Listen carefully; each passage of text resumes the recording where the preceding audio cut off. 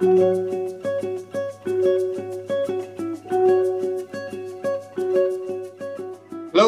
my name is Steve Federico, and I'm a general pediatrician at Denver Health, and uh, have been the director of general pediatrics and school and community programs here um, for six years. Once again, we continue our excellent partnership with Denver Public Schools and Denver Health um, to expand vaccination to the students who are now eligible for the COVID vaccine. All students ages 16 and older are eligible um, to receive a COVID vaccine. And so we are doing our best to try and prioritize those students to get them their vaccine as fast as possible.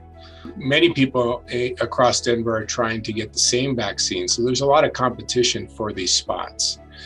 And so, what we have done in partnership with DPS is to start by um, organizing some mass vaccination events targeted specifically for students. Students and families should be receiving an email this week with a link to sign up for these appointments.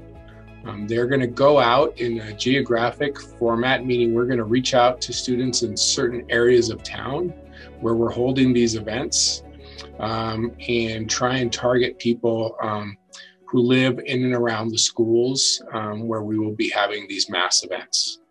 Um, this weekend, we will be having one in the far northeast and one in southwest Denver um, at both the Evie Dennis campus and the Lincoln High School campus.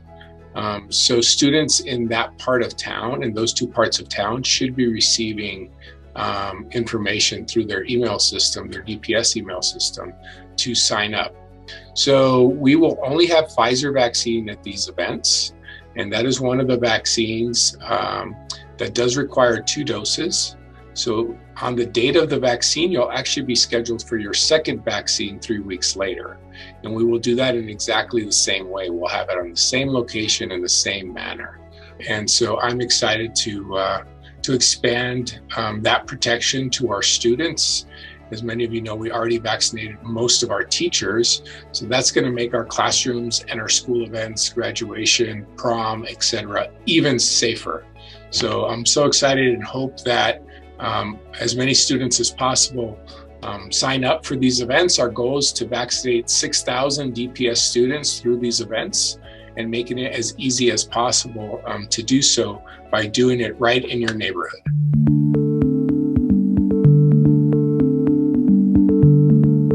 I'm Bill Burman. I'm the Director of Public Health at Denver Health. Uh, the overall COVID situation is that we've had a modest increase in cases that's been shown in a number of ways, number of cases, the percent of tests that are positive, the number of persons admitted to the hospital.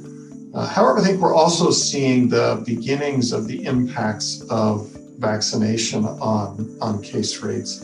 And that's fully expected. These vaccines protect against all kinds of infections, both symptomatic and asymptomatic.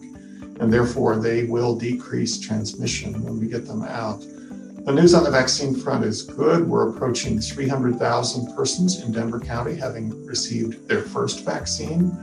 Uh, that's almost 50% of the persons who are currently eligible. That is, persons who are 16 years of age and above.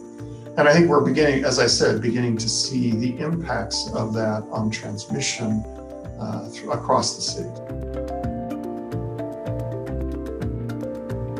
And it reminds me of, of some of the discussion about masking months ago that part of the reason to mask is to protect yourself. At least as much of the reason to mask in public places is to protect others, because this is a virus that can spread from people who are feeling fine. Uh, that was the justification for universal masking. I think vaccination has some similarities. Part of the reason to be vaccinated is to, is to prevent illness in yourself and the attendant consequences of isolation, potentially hospitalization, uh, even serious complications.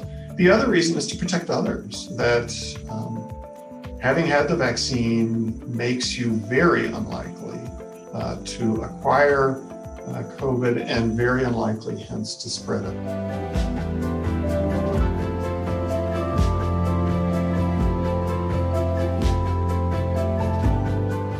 Yeah, it's certainly a concern to have a safety signal raised about a vaccine. And the, the, safety signal is one about a rare form of blood clotting that can be serious. And so uh, we take that, that very seriously.